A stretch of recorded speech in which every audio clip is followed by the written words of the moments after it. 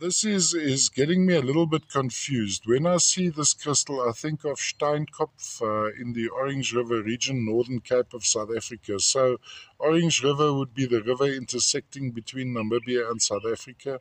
This would be a mildly smoky quartz floater so first of all, we're going to look at the top crystallization.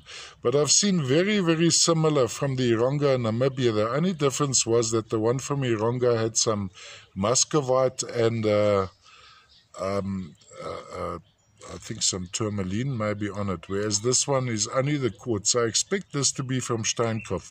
But note in geological terms, distance isn't all that relevant, and, and similar things happen uh, of course, the, the Orange River and surround Steinkopf would, would be pretty far far south of uh, uh, the, the Erongo deposits in Namibia.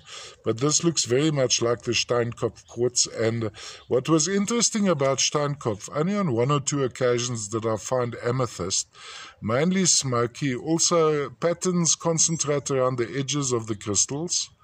Very, very intricate, interesting crystallization, often scepters, etc. This, of course, is not a scepter. And have a look at the faces, second generation of quartz growth on the faces running through.